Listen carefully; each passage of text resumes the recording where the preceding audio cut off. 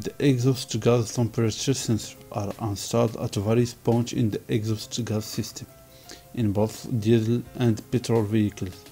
The exhaust gas temperature sensor detects the temperature for example in front of catalytic converter or diesel particulate filter and sends this as voltage signal to the engine control unit. The engine control unit needs this information in order to control the air fuel ration or the particulate filter regeneration and thus effectively reduce emission. In addition, higher temperature sensor protected components in the area of the hot exhaust gas flow from critical overheating.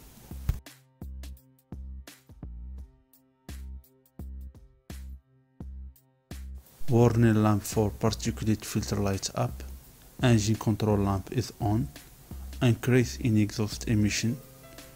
Poor driving behavior because of shortened regeneration interval of the particulate filter. Increase fuel consumption.